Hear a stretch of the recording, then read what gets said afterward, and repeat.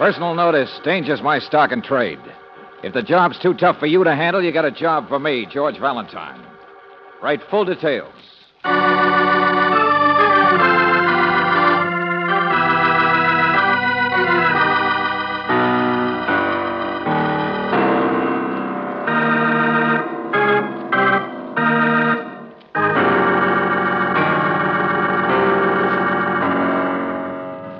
Standard Oil Company of California, on behalf of independent Chevron gas stations and standard stations throughout the West, invites you to Let George Do It.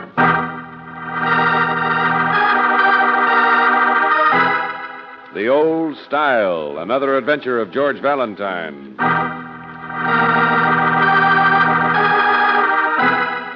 Mr. George Valentine, dear sir, my name is Jeremiah Stark. Perhaps you've heard it in connection with crime, with the study of crime, that is.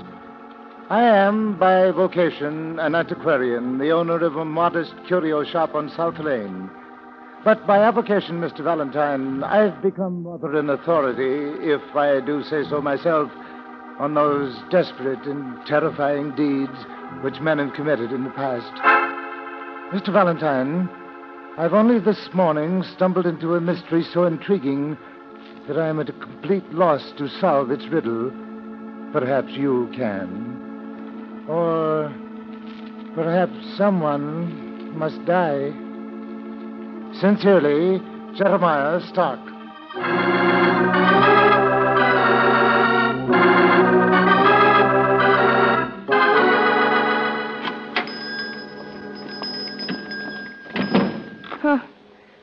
Certainly a curio shop, all right. Yeah. Antique bedsteads, snuff boxes, and old porcelain. Everything but a Venus with a clock in her stomach. I don't know, George. There's Diana on a hat rack. Yeah, the kind of place you buy your relatives presents. You mean if they happen to be spiders or bats? Hey, wait a minute, Angel. The stuff on this counter here a knife, piece of rope, and the stuff in the glass case. This is the actual Bowie knife that figured so prominently in the Sykes Jefferson killings in October 1912. Ah, there's a card on each item 1893, Hangman's Noose. This broken wine goblet was Exhibit A in the state of Illinois trial in early 1903 of Eric Stockwartz. He killed his wife, you know. Hmm. She- She was a dancer. What's that? The old Sarah Bernhardt Theater, stage doorman. He died, too, of course, but it was 14 years in the solving. Well, so you're the authority, huh? Uh, yes, Mr. Valentine, Jeremiah Stark. Uh, uh, here, uh, let me show you. If you look closely, you can still detect traces of the original blood. Oh, no, no, never mind. Thanks. Fascinating case. In the old style. The grand tradition. Yes, well, it's uh, quite an exhibit you've got, Mr. Stark. Uh, just the one counter here for the choicest items. I'm rather discriminating, you know, regarding my hobby. But, uh, of course, alongside of you, Mr. Valentine, after all, murder is your business. Well, it's not my pleasure, Mr. Stark, so let's have it. What's your problem? Oh, of course, of course. Well, to begin with, this morning I received an item in the mail. I have no earthly idea who might have sent it, mind you, but Mr. Valentine, it too is is in the old style. What do you mean? What is it? Uh, here, here, here it is. A little box. Hmm, little old fashioned flowers painted on it. And you have dusted my heart with your dainty smile, made sweet my soul with your own sweet glance. Painted lids of our lives only shield our shy love, so lift them and murmur that I have a chance. Yeah, it's a little on the sentimental side. But what's in Uh, go on, go on. Open it, open it. Oh, a music box, of course. It's Let Me Call You Sweetheart. Hmm. All right, so what? So you got a music box in the mail with a little corn painted on Well, top. Mr. Valentine, people from all over send me things, send me souvenirs, mementos of death. Great friends you got. I have no friends. People send me little items for my collection, and my hobby. But you said in your letter that someone must die. I don't understand what this music box Now, has to please, do- please, would anyone send such an item without giving their name, with no note, with only a crudely printed address? Well, now I grant and you. Mr. Valentine, you have seen for yourself every other item I have bears a tag with the date, the historical date of each separate murder. Well, look here. Here is the puzzle. The bottom of the music box. Underneath is a tag. You see it? A tag with a crudely printed date. Just a date, that is all. But the date is tomorrow. Here's the paper it was sent in. A memento of a murder to come, huh? Well, it's the same printing as the wrapper, all right, isn't it? No name, no indication. The wrapper was postmarked here in the city, George. Mr. Valentine, there's only one possible clue I can suggest. A man. A man who betrayed more than the usual interest in this box. What man? When? Uh, about noon, he came in. I remember, big, bulky, uh, wearing a brown overcoat. And he happened to glance at this counter. The man looked at the music box. He examined it. Then he noticed the date and Mr. Valentine. That man left this store as though he had seen a ghost. Why didn't you stop him? I tried to. I, I was busy with another customer. He was a tall man, graying a bit, sad looking man, sensitive. Had you ever seen him before? Yes, just two days ago in Joe Murphy's barber shop down the street. Murphy might know his name, though, of course, I don't. Uh-huh. You know, Mr. Valentine, I had the peculiar impression of this happening before. When I read the poem on the music box, it struck me as funny, but I don't know why. Well, there's the clue. That's all I remember. Well, Brooksy, so far it strikes me as crazy. Why, But uh, take it easy, Mr. Stark. That doesn't mean I won't go chasing after your one clue. Crazy or not, I don't want any murders to happen tomorrow.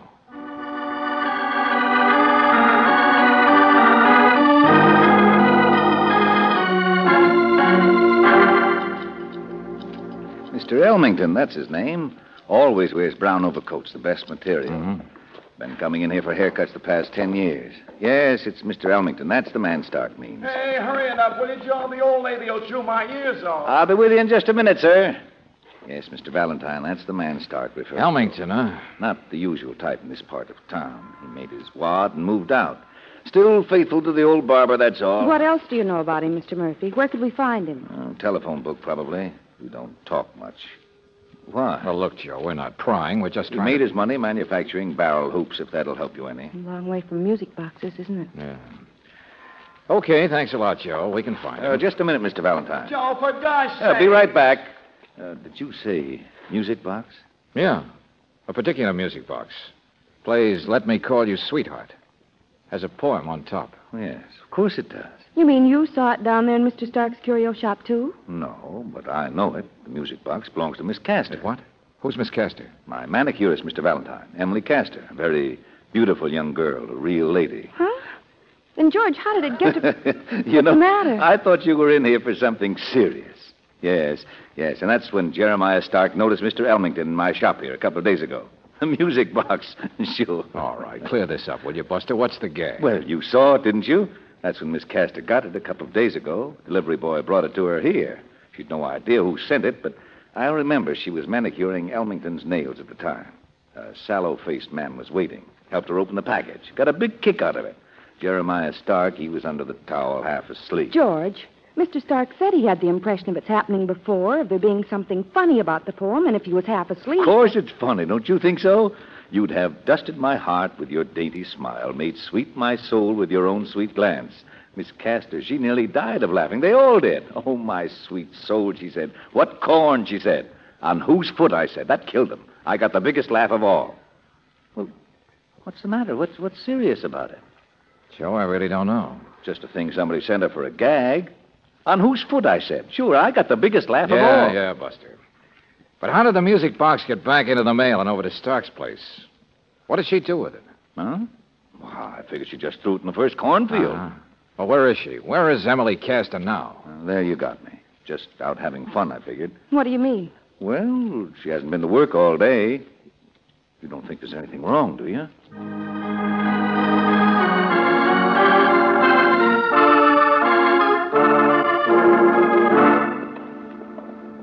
We are, Angel. Second door is Emily's. Here's the landlady's key, George. Oh, George. Yeah. Dead, all right. Stabbed. It it must be he. Brown overcoat. Tall. Green. Sure. It's Mr. Elmington's body, all right.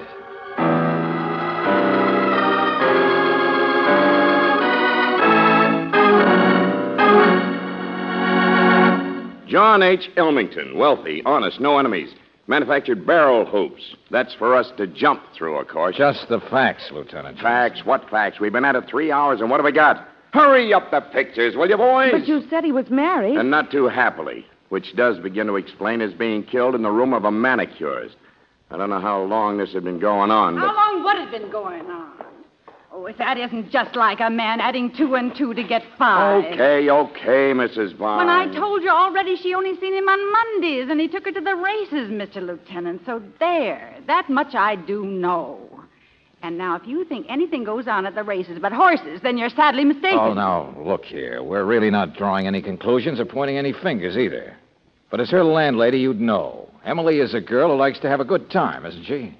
If an unhappy man with some money like this, Mr. Elmington, wants to take her to the races sometimes, do you think she's crazy? Mm, maybe, I don't know. Who's her regular boyfriend? That's what I mean. She doesn't have many. Only been in town three or four months. Nobody's steady.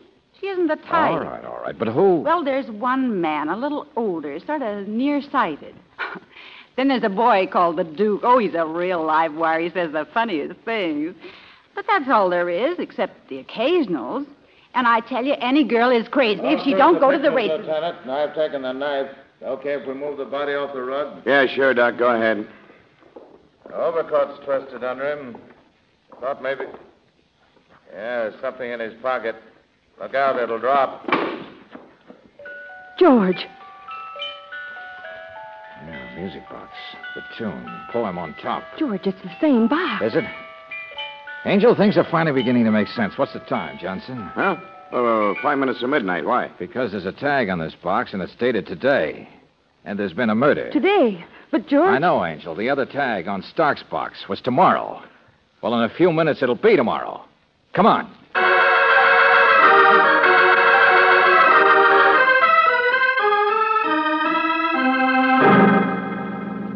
Oh, oh, my head.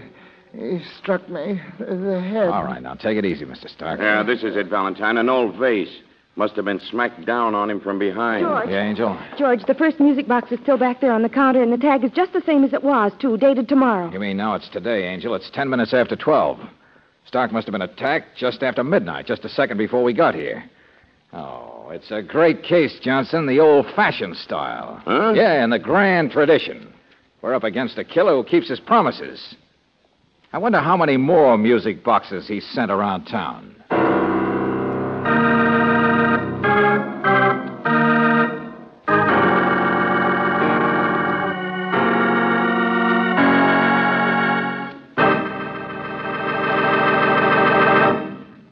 We'll return to tonight's adventure of George Valentine in just a moment. When was the last time your car's battery had a drink? One of the biggest reasons automobile batteries fail is simply because of lack of water. That's why it's important to get regular battery check where they specialize in protective service at standard stations and independent Chevron gas stations. They'll make certain that water in the battery is kept at the right level. They'll inspect the battery cables for signs of wear or corrosion, take a hydrometer reading, make sure terminal posts and clamps are clean and tight. Remember, a battery kept in A1 condition helps your car start faster, helps keeps lights bright, helps the radio and heater to do their best. So why not ask for a battery check tomorrow? It's another protective service available at independent Chevron gas stations and standard stations where they say and mean we take better care of your car.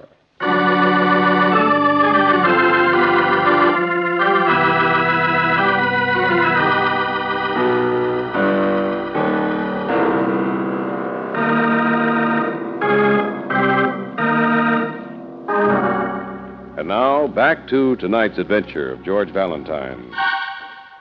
A little old fashioned music box. But the only trouble is there seems to be more than one. And so far, there's been more than one attempt at murder. Mr. Elmington is dead. And the man who started this case, the man whose hobby is collecting mementos of death, has very nearly collected death himself. Just sitting here making out some bills. That's all I was doing. Sure, sure, like a sitting duck. And the vase you were hit with, Mr. Stark, was grabbed right off the counter there behind you. If we hadn't come in here so fast after midnight, you'd have been a dead duck. It was the desk, I think, the roll top. What's that, Mr. Stark? The top of the desk here took part of the blow, too, you see. That's what saved me. I was leaning over. I'm nearsighted. Be thankful for your infirmities. Yeah. Well, you're all right now. Yeah, but your head must be soft to start with. Sitting here alone at night when you'd already received a music box. But it was for my collection. It had nothing to do with me. Hmm. You thought it didn't have anything to do with you. Well, how could it? Why would anyone want to kill me? I have no enemies, no debts, no money to steal. Don't ask us to make any sense out of it, Mr. Stark. You're the one who likes mysteries and riddles. Well, I grant you. But I prefer the type that are already solved. Oh, sure, sure. The old style. All neatly laid away in a glass case with clues and motives. But this is like some of those cases. The terrifying type, without rhyme or reason. Now, it must have been the same man who attacked us both, uh, Mr. Elmington and me. And yet we have absolutely nothing in common. We've never even been introduced. You don't have to rub it in. We know we're up against a lunatic. Who else would send music boxes with dates Wait on a them? minute, Johnson. Wait a minute. Maybe it makes both rhyme and reason. At least there's a poem in it. And at least we know now why Elmington acted so funny when he was in the store here today. Yes, he must have already received his music box. And when he saw the one here with a different date. Sure, Brooksy. He tore out of here and up to the girl's place to ask questions, maybe. Only he got killed for his trouble. Um, you say you're nearsighted, eh, Mr. Stark? Well, yes. I, I need correction in both eyes, but the left one She is... doesn't have any steady boy friends, but there's one called Duke. And one man a little older, sort of nearsighted. George. Hey. I beg your pardon. Miss Emily Castor. There's something you had in common with Mr. Elmington, isn't it? Uh, An interest in the same girl, the manicurist. Well, come on. You are the one the landlady was referring to. No, Mr. Valentine. I. I mean, yes, in a way.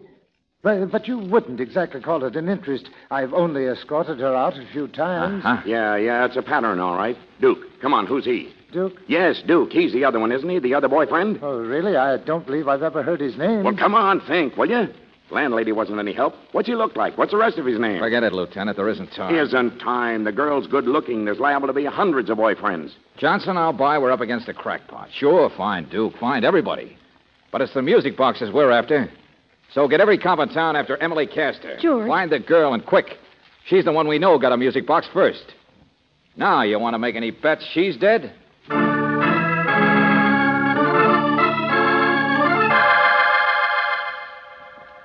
Valentine, do you happen to know, did Emily Castor have her manicure stuff yesterday? What's that, Johnson? A pair of manicure scissors, her initials, EK. Where'd you find them? They just turned up in the police department's own lost and found.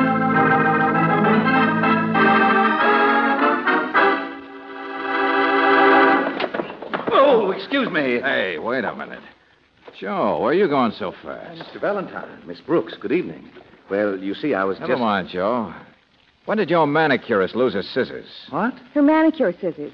You know, they had her initials on them. Yes, and- I understood, but. Why, I don't remember her losing them. Uh-huh, so it is a lead, Angel. She didn't lose them until yesterday, the day she disappeared. Mr. Murphy, did you ever see one of her boyfriends named Duke? The police have already asked me. I've never pried into her personal life. Never dated her yourself, huh? My own employee? I wouldn't presume to.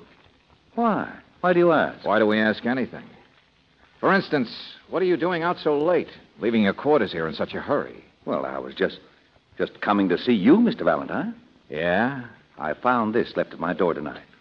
See? A music box.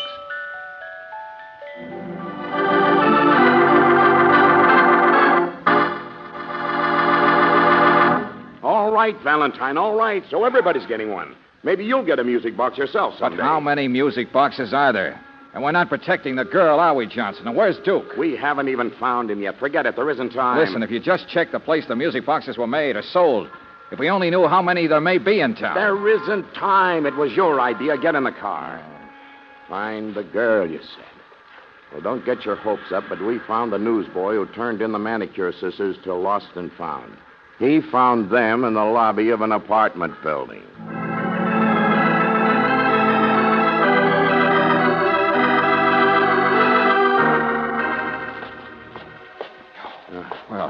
This is the last chance, top floor. Any building that.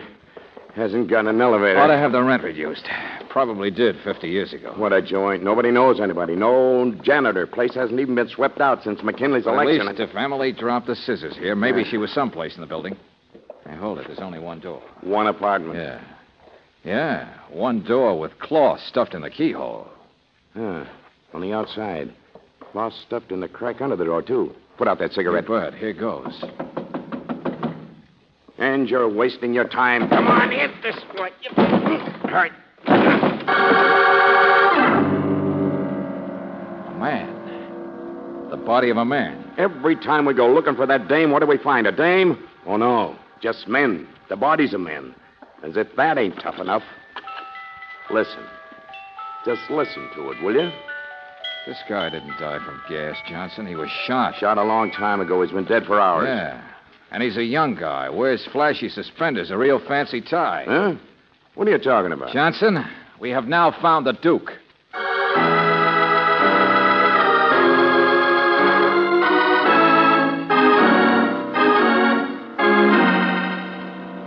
Lieutenant, come here. Huh?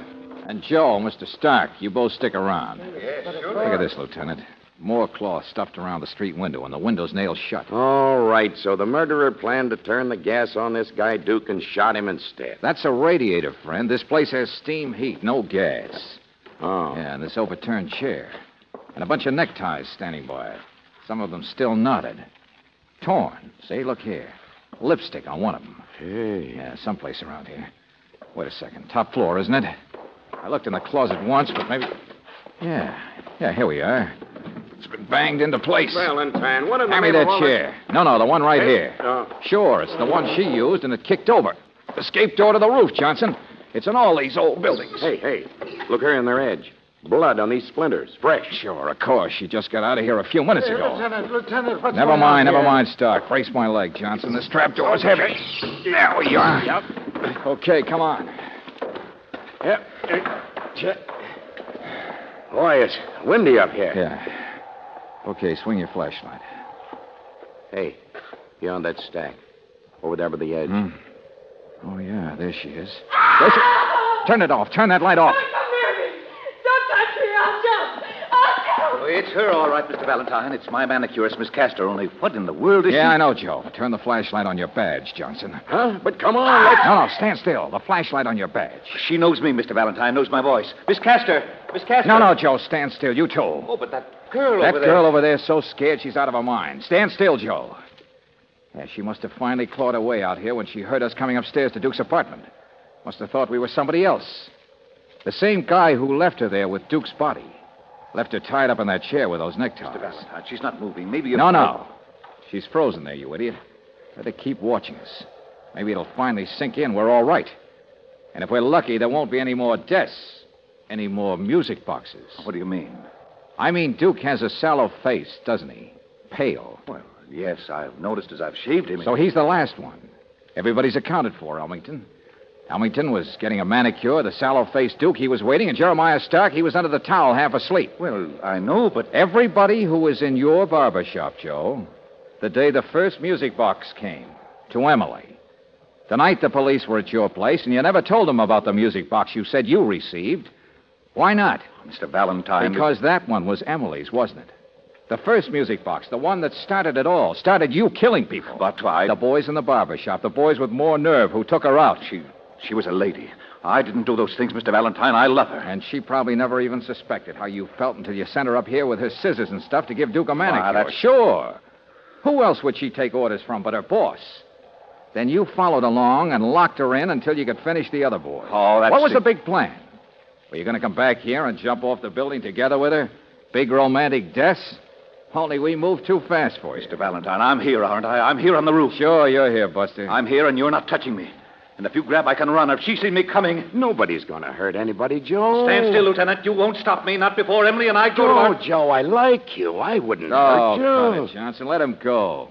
It'll be a big romantic death, and people will laugh their heads off. What? Oh, what a sucker, they'll say. What a jerk. It'll be in the newspapers and everyone. Joe, you killed me. Stop that. And the poem. The poem. I can see it on the front page. Silly little flowers all around it. You have dusted my heart with your dainty smile, made sweet my soul. Oh, my sweet soul, they'll say. That that Joe Murphy's a car. I laughed, didn't I? I laughed at the poem, too. Sure, because you had to, because you said it. Corn on whose foot, you said, and it killed them. You got the biggest laugh of all, and no wonder.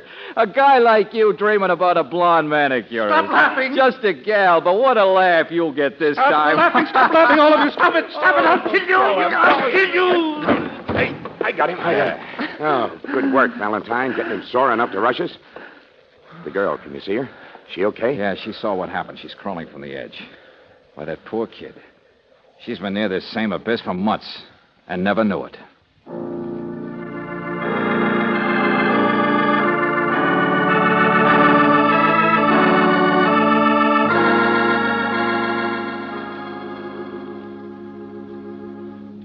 George, I wish I'd had a chance to meet Emily Castor. Oh, she's not your type, Brooksy.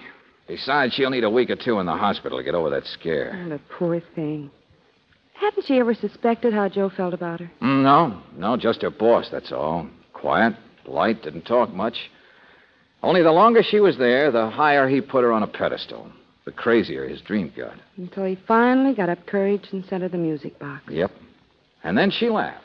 And the boys laughed. And the dream blew up. And just because of that, all those murders. No point trying to explain a guy like Joe, Brooksy. But he happens sometimes. Too much loneliness, too much under his lid. Makes you wonder, doesn't it? But she shouldn't have laughed. Hmm? Well, she shouldn't have. I know some girls like to go out a lot and have a good time and be happy and everything, but, well, she shouldn't have laughed. I mean, listen. You have dusted my heart with your dainty smile, made sweet my soul with your own sweet glance. Now, what's funny about it? What if it is sentimental? Why should people be so self conscious nowadays about sentimental things? Well, don't look at me that way. I'm not laughing. I'll say you're not. Oh, the old style, huh? Play that again.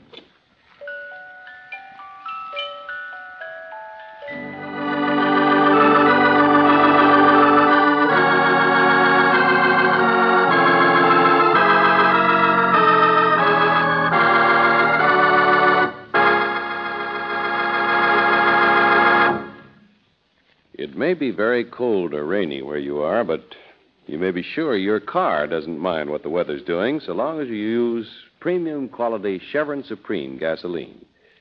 Based on year round weather records, it's blended for each season and for the West's different altitude and temperature zones. So, to get the best out of your car all winter and wherever you drive, go on Chevron Supreme gasoline. With the first tank full, you'll notice right away how much better your car performs. Faster starting on cold mornings, smoother pickup in traffic, powerful ping free performance on hills. You can't buy a better gasoline for today's high compression engines. Try Chevron Supreme tomorrow. Get it at independent Chevron gas stations and standard stations where they say and mean we take better care of your car.